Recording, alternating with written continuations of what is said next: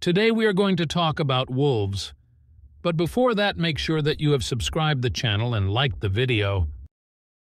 Wolves are highly social animals, living in packs that typically consist of a mated pair and their offspring.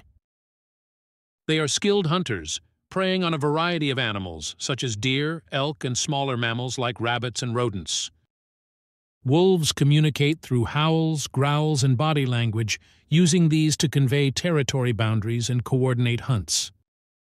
These carnivores have powerful jaws and sharp teeth adapted for tearing meat, helping them thrive as apex predators.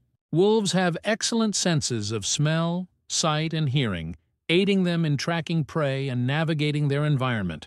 They play a crucial role in ecosystems by regulating prey populations and influencing the behavior of other species.